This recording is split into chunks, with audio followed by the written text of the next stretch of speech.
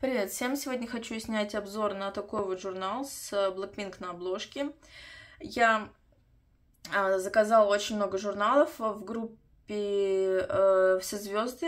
Там две группы есть ВКонтакте. Одна, в которой там обложки, всякие опросники выкладываются, а есть группа, где продают журнал. Вот я там заказала целую пачку. Это номер 9 2018 года, то есть очень старенький. Там такие вот продаются. Если вам интересно, можете зайти и приобрести себе. Они там недорого стоят. Ну, может, какие-то дорого, но в основном недорого.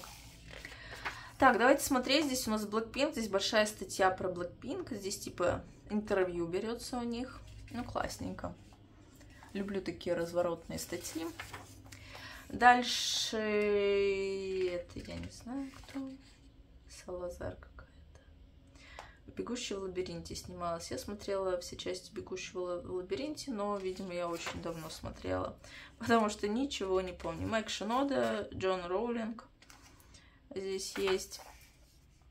Также, также, также, что еще у нас здесь есть? Так, здесь у нас есть э, BTS. Вот картиночка здесь. Так, по плакатикам пройдемся. Ну вот опять у нас здесь бегущий в лабиринте. А, 30 Seconds to Mars. Ну это прям... Да, старый журнал. Вот. Я многих вообще не знаю. В то время что-то как-то вообще не интересовалась никем. Да и сейчас, в принципе, только там какими-то отдельными группами.